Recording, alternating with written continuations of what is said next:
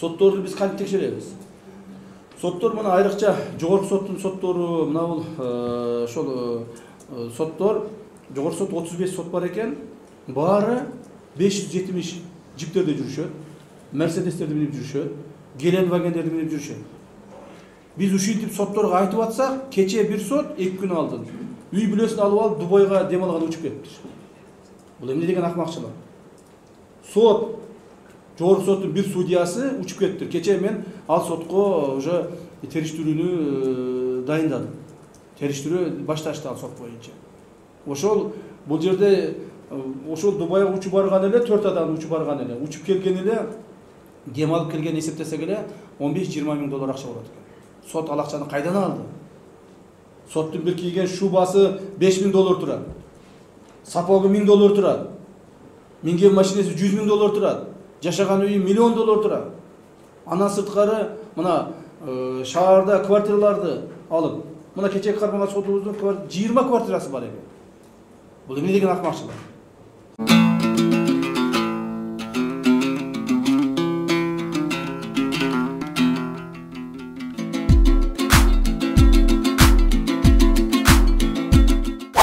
насчет гульбары калиевой председателя верховного суда да по отношению к ней по отношению к ней возбуждено уголовное дело дело расследуется мы подготовили достаточно мы нашли достаточное Э, количество доказательств о привлечении ее э, к уголовной ответственности. Мы э, данную как бы уголовное дело передали дисциплинарную комиссию. Дисциплинарная комиссия, если примет решение о, о согласии привлечения ее к уголовной ответственности, мы ее привлечем, несмотря на то ее большую должность. Так? мы считаем, что она нарушила закон, закон, посредством чего нанесла э, как бы большой урон государству. Вот поэтому данный вопрос расследуется, оно будет доведено до конца. Я думаю, мы свое дело сделали, передали дисциплинарную комиссию, еще раз повторяюсь. Оно примет решение, вход сегодня, мы завтра ее задержим. Если не примут решение, тогда мы законное право не, не будем иметь. По какому факту? Да, уточните, пожалуйста. А, э, факты не могу озвучивать здесь, потому что это тайное следствие. Но я вам уже рассказал, что имеется достаточных доказательств о привлечении к уголовной ответственности. Жогорку сот күнөөсүздүк презумпциясы кылмыш ишинин негизги принциптеринин бири экендигин эске салууну маанилүү деп эсептейт. Бул мыйзамда белгиленген тартипте жасалган кылмыш үчүн күнөөсү далилденгенге чейин жана соттун мыйзамдык күчүнө кирген чечими менен аныкталганга чейин адам күнөөсүз деп эсептелет. Жергиликтүү сот автоматташтырылган маалымат системаны ишке ашырууга байланыштуу бул долбоор европа биримдигинин кыргыз республикасында укук үстөмдүгү долбоорунун алкагында ишке ашырылып жаткандыгын тендерлерди жана подрядчиктерди тандоону эл аралык уюм өзү жүргүзөрүн белгилейбиз.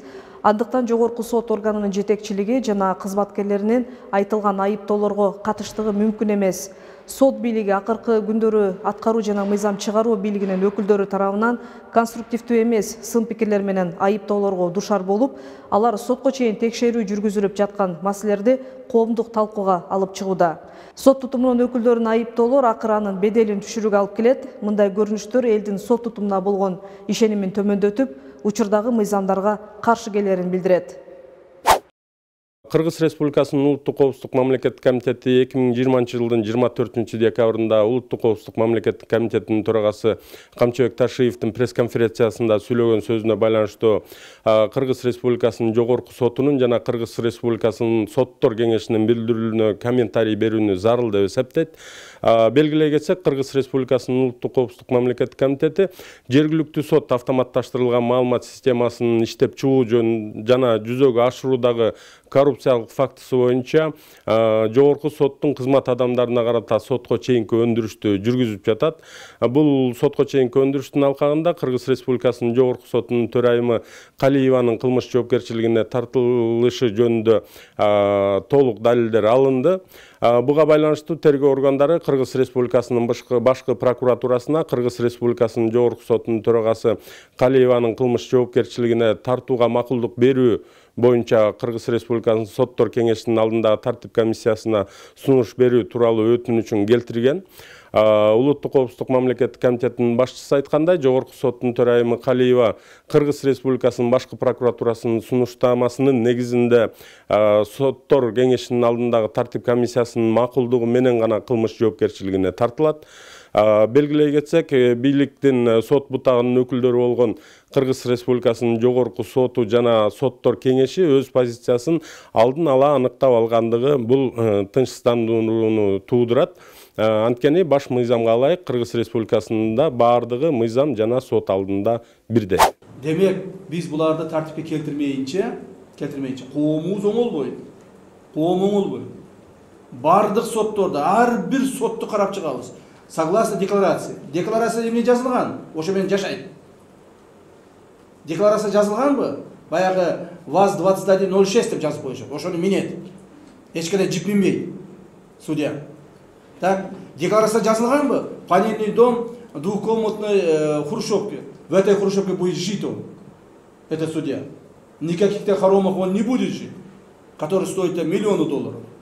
Этого я обеспечиваю. Это обеспечу. Почему? Потому что нам нужна социальная справедливость.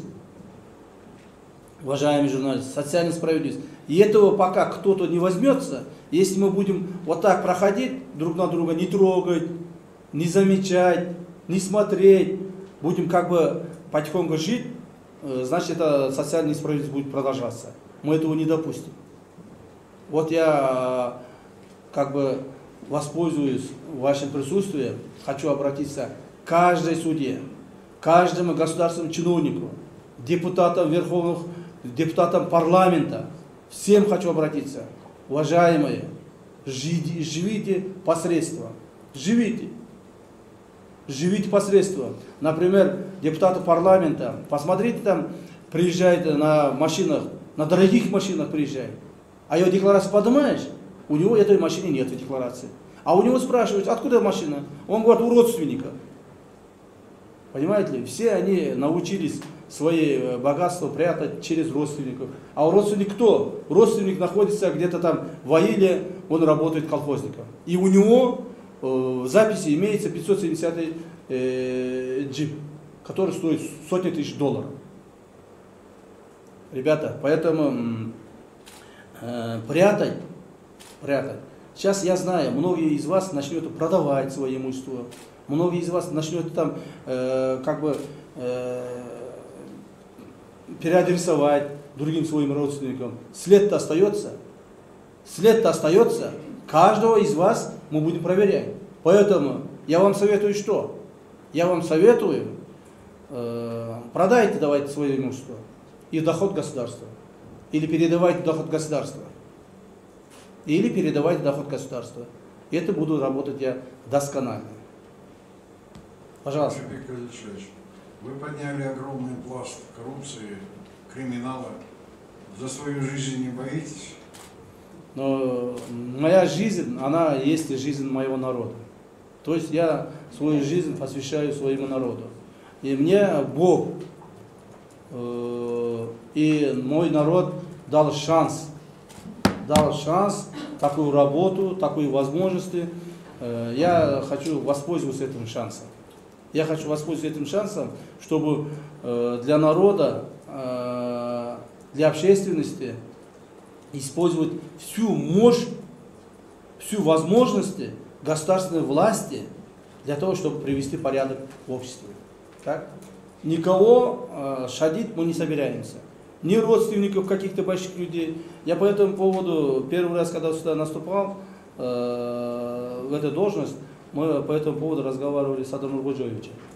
И мы с ним договорились, что никакого э, влияния, родственных связей, землячества и других моментов не будет. Так? Я так и буду поступать. Я так и буду поступать.